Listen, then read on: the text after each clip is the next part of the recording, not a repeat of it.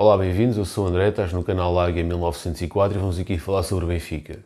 Bom, eu tinha dito que ia calhar ao Benfica ao Clube de Bruges. E de facto, calhou. Tem que jogar no Euro Milhões. Também tinha-vos dito, há cerca de dois meses atrás, num vídeo que tem o título de... Aliás, até foi um direto que eu fiz, mas que vocês podem consultar no, neste canal. E o título é Benfica volta às noites gloriosas. E eu, nesse, nesse direto que fiz, que estive a comunicar com vocês, disse-vos que acreditava que o Benfica poderia ficar em primeiro lugar e justifiquei o porquê. Uh, e de facto o Benfica passou esta fase de grupos em primeiro lugar contra, não ouvi mais ninguém dizer isso, pelo menos publicamente, uh, nos meios de comunicação, redes sociais, o que quer que fosse. O Benfica de facto passou em primeiro lugar, de facto calhou contra o Clube de Bruges, mas atenção, o Clube de Bruges não é uma equipa qualquer, inclusive golearam o Porto na casa do Porto por 4-0. O Clube de Bruges é um clube que está é o quarto classificado, salvo erro, deixem-me aqui verificar, quarto classificado da sua liga, com 32 pontos em 16 jogos. O líder tem 43 pontos, portanto tem uma diferença pontual de 11 pontos para o líder, está a fazer um mau campeonato interno, no entanto na Liga dos Campeões não se verificou esse mau, esse mau arranque. Na Liga dos Campeões eles inclusivamente nos jogos fora tiveram bons resultados, ganharam o Atlético Madrid fora, ganharam o Porto fora, portanto esta equipa, fora de portas, afigura-se difícil, pelo menos é, tendo em conta aquilo que, ele tem, que eles têm feito este ano, eles este ano têm sido mais fortes fora do que nos jogos em casa. O clube de Bruges é o adversário em teoria mais acessível, no entanto, o facto de eles serem um clube que toda a gente queria poderá mexer com o ego dos jogadores e poderá fazer com que os jogadores impulsionem o seu futebol para um nível superior. O jogo será, o primeiro jogo será em meados de fevereiro, salvo erro 14, 15 de fevereiro, e o, o jogo da segunda mão no Estádio da Luz será em março.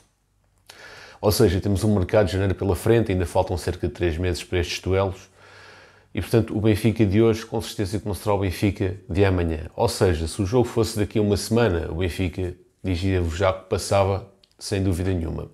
Agora, tendo em conta que temos ainda alguns meses pela frente, muita coisa vai acontecer, muita água vai rolar, mas se o Benfica manter este nível, a probabilidade do Benfica passar será muito grande. E, inclusivamente, até o Benfica poderá estar mais forte nessa altura do que o que está agora. Porque a perspectiva é que o Benfica se reforce em janeiro, eventualmente com ponta de lança, para fazer ali uma luta direta com o Gonçalo Ramos, que tem estado bem. O Gonçalo Ramos, atenção, principal artilheiro da Liga Portuguesa.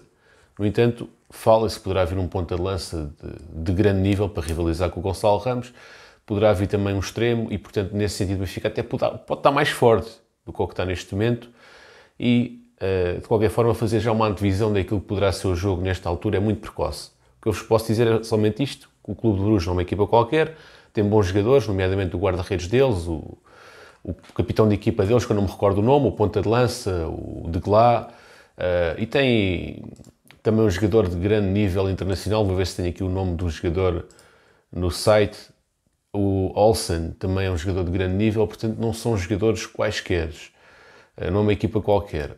E portanto o Benfica tem que respeitar este adversário, tem que ter noção que eles têm o ferido por ser a equipa que toda a gente queria. Um, e o Benfica tem que ir com a atitude de sempre, com o seu futebol de sempre, e tem que ir com a perspectiva de ganhar com classe, com categoria e por goleada também. Uh, é esta a visão que o Benfica tem que ter. Agora, aquilo que será o Benfica em em fevereiro e março poderá ser uma Benfica diferente, esperemos que seja uma Benfica melhor ainda do que é neste momento, e é essa a minha, minha perspectiva em relação a esse jogo. De recordar que eles ganharam ao Porto 4-0 no Porto, no Dragão, mas perderam 4-0 em casa. Uh, também contra o Atlético Madrid também uh, conseguiram um bom resultado com o Atlético fora, depois perderam em casa, salvo erro. Portanto, não é uma equipa que tenha estado mal na Liga dos Campeões tem estado bem, no meu entender, embora tenha perdido contra o Porto. No campeonato é que tem dado um pouco aquém. Em relação a Aramchuk, que joga no, no Clube de Bruges, Aramchuk está igual àquilo que fazia no Benfica, portanto é um jogador que tem qualidade, mas não está a ter a utilização que era esperada. Ele, neste momento, está com dois gols e duas assistências, é um jogador de rotação, um jogador que vai entrando, mas não é... está com 12 jogos, mas é jogos a partir do banco. E vamos ver o que é que vai dar. Passando agora à frente, Uh, vou aqui abrir uma, uma, nova rubrica, digamos assim, aqui no canal, que é o melhor jogador do mês. E, a, e o melhor jogador do mês a partir do banco de suplentes. Uh, e começando pelo melhor jogador do mês a partir do banco de suplentes. Para mim foi o Musa, isto porquê? Porque o Musa em 3 jogos fez 3 golos, ou seja, marcou em 3 jogos seguidos. É um jogador que marcou ao Rio Ave, ao Estoril, ao Chaves, ao Caldas e ao Maccabi Haifa, ou seja, pelos números vocês já perceberam, ele marcou gols em todas as competições em que esteve. Vai com 5 golos, é um jogador que tem entrado a partir do banco de suplentes, tem 24 anos, custou 5 milhões de euros no negócio com o Boa Vista, tem contrato até 2027 e uma cláusula de rescisão de 80 milhões. Uh, em, em, relação também ao jogador que está a sair do banco e que está também a demonstrar qualidade, das poucas vezes que saiu do banco demonstrou sempre qualidade é o Ristic, que inclusivamente marcou um gol de fora da área brutal. Portanto, estou agradavelmente surpreendido com o Ristic, não tinha a noção que o Ristic era um jogador uh, com esta categoria. Não que ele, que ele seja um top mundial, neste momento parece ser um jogador regular mais, darei-lhe uma, se desse-lhe uma avaliação, dava-lhe uh, elevado, menos, digamos assim, por aquilo que ele faz. Nos poucos minutos que ele joga, ele está bem. Não é o suficiente para ter uma, uma avaliação exata, mas daquilo, do, do pouco que ele jogou, tem jogado, no meu entender, sempre com qualidade. Demonstrou, só me lembro de ele ter demonstrado algum desacerto defensivo num golo, mas tirando isso, em termos ofensivos, é um jogador que está-me a surpreender. Ristic mas para mim, o homem do o jogador do mês a partir do banco de suplentes é o Musa. E porquê que eu digo também, estou a fazer também, estou também a fazer este, esta rubrica também a, a, beneficiar um jogador que venha do banco de suplentes, também os motivar para a competição interna. Agora, o jogador do mês que tem jogado no 11 com regularidade, para mim, são dois. Seria fácil chegar aqui e dizer António Silva, até porque ele marcou dois golos, fez um bis e fez um jogo espetacular contra o Estoril.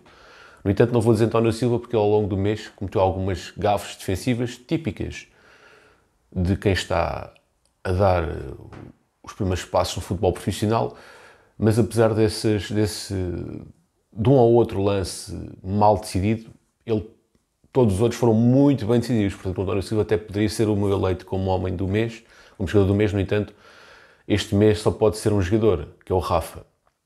Reparem, ele marcou o golo ao Porto, deu-nos a vitória contra o Porto 1-0 no Dragão. Uh, contra as Juventus marcou o, um gol também. Contra os Chaves marcou um golo. Contra o Maccabi Haifa marcou um golo. E tem tido sempre uma participação, aliás, contra as Juventus, peço desculpa, ele contra as Juventus do Estado da Luz fez um grande jogo e marcou dois golos. E marcou também contra o Maccabi Haifa. Portanto, ele tem estado de uma forma espetacular. Também teve bem no empate em Paris, logo no início do mês. Uh, portanto, Rafa, para mim, o homem, do, o homem do mês, seguido de João Mário. João Mário também tem muito bem, marcou contra o Estoril Praia, marcou contra o Maccabi Haifa, o gol que nos deu o primeiro lugar, uh, marcou também contra as Juventus, de penalti, o, o gol que nos deu a vitória, uh, marcou em Paris, enfim, contra o Porto uh, acabou por sair ao intervalo, portanto foi aqui o único ponto negativo. Um, Contra o Rio Ave também marcou, portanto, e é um jogador que tem tido uma participação muito positiva. Também poderia dar ao Freddy Cautions, mas se formos a analisar estatisticamente os gols, as assistências, etc., só pode ser, no meu entender, João Mário e Rafa. No entanto, fiquem à vontade para dar a vossa opinião, concordar ou discordar comigo. Para mim não há qualquer tipo de problema, porque o meu objetivo aqui não é mudar a opinião de ninguém. O meu objetivo aqui é só debater e entreter-vos entreter a vocês e vocês entreterem-me a mim também e debatermos de forma saudável. Em relação às notícias de hoje, um, surgiu notícias que o António Silva está com o pé no Mundial, que o Fernando Santos está convencido e que irá convocá-lo. Portanto, essas as têm surgido em relação a António Silva na comunicação social e em relação à seleção.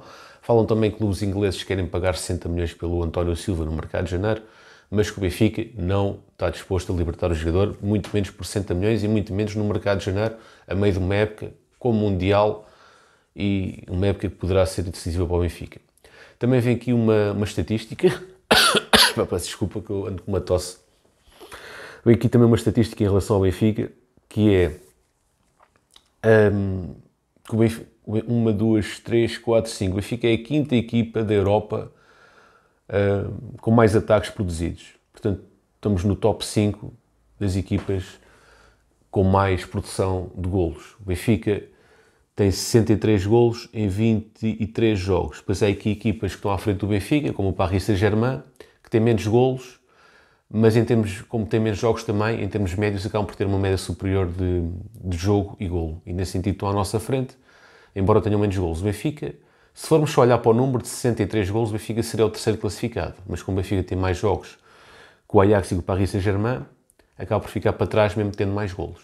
Não sei se fui explícito. Lucas Veríssimo, hum, Lucas Veríssimo, Gilberto, João Vitor hum, e Bah, fora da seleção do Brasil.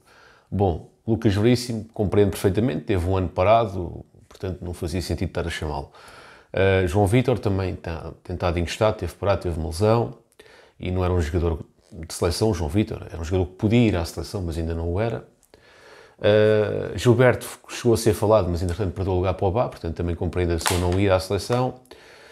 Uh, quem é que falta mais? Ah, depois o David Neres é que já não concordo. Isto porquê? Porque o David Neres lá está, é titular na quinta melhor equipa com produção ofensiva da Europa. Na equipa que é líder do campeonato português, da equipa que é líder do grupo H da Liga dos Campeões, que teve equipas como Paris Saint-Germain e Juventus. Portanto, David Neres está no top do mundo em termos ofensivos. Está no top. O Benfica, neste momento, é uma equipa top em termos ofensivos. E nesse sentido, fazia todo o sentido chamar um jogador que tem tido uma produção ofensiva no Benfica bastante grande. Eu vou só aqui ver se tenho aqui os dados do David Neres no Benfica. Tenho, sim, senhor, David Neres, 18 jogos, 18 jogos, 6 golos e 8 assistências. 18 jogos, 6 golos e 8 assistências. Parece números interessantes para um jogador que nem sempre faz os 90 minutos devido à sua condição física, mas um jogador que tem demonstrado, quando está em boas condições, uma forma incrível.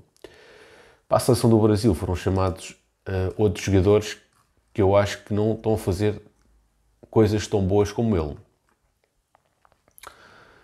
Uh, portanto, ele chamou, por exemplo, Estava aqui a ver se encontrava. Neste momento não, consigo, não tenho, pensava que tinha aqui aberto as convocatórias do Brasil.